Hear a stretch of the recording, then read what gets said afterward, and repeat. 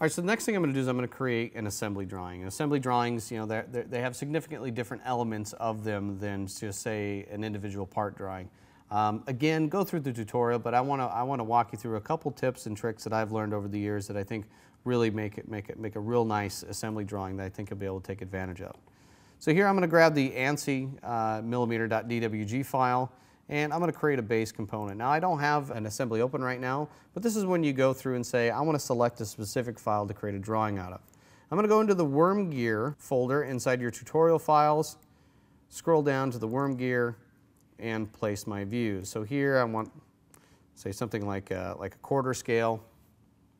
So I could, I mean technically I could create um, this right here and you know place the, uh, the assembly view, the isometric view, and, and be fairly happy with this and go through and grab an, uh, a parts list and you know, place the parts list inside of the drawing just like so.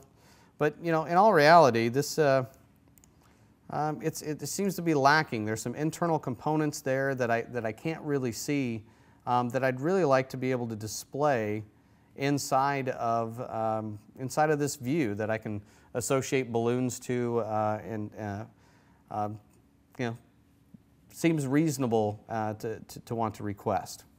So what I'm going to do first is I'm going to change the size of this sheet. It feels like I'm, I'm getting, uh, getting a little crowded here. So let's just go ahead and say, uh, right click on the sheet in the browser and say edit sheet and go from a C size to a D size.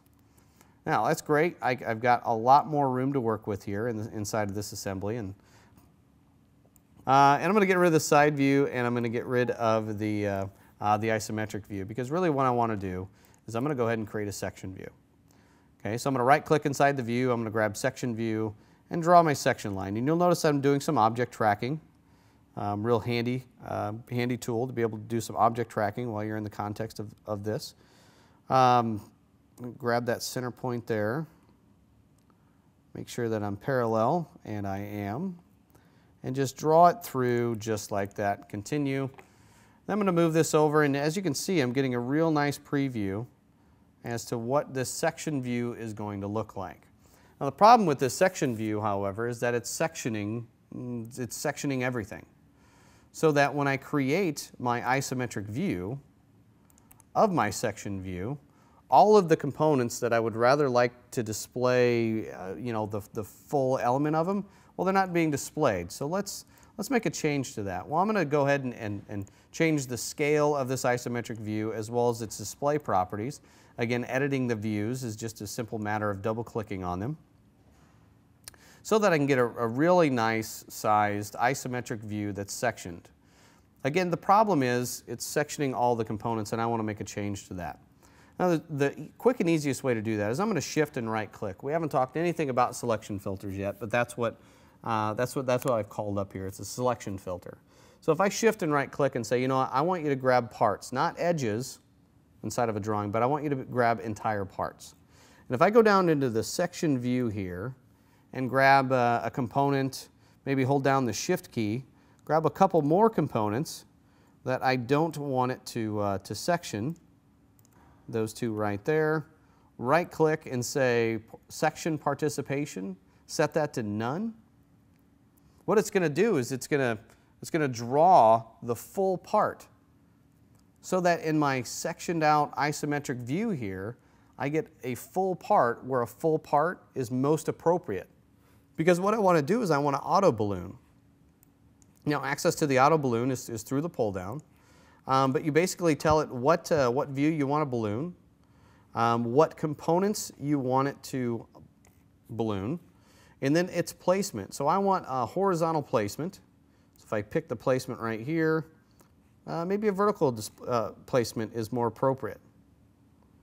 So I'll just say vertical placement right there, choose OK. And now not only have I created an isometric view along with a, uh, with a parts list and balloon them, but I'm also pointing to all the internal components. So I don't believe the, uh, the tutorial uh, quite went through that level of detail, but um, I, I, think it's important, something that I certainly took advantage of uh, in, in production uh, utilizing Inventor and, and, something that I think you will too.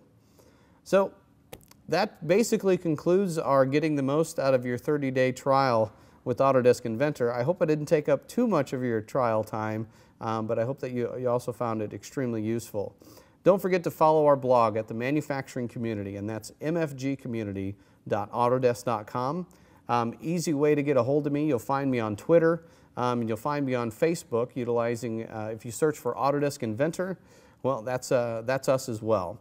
So if you have any questions throughout your tutorial, there's a community of people that are, that are um, excited to help, uh, me being one of them.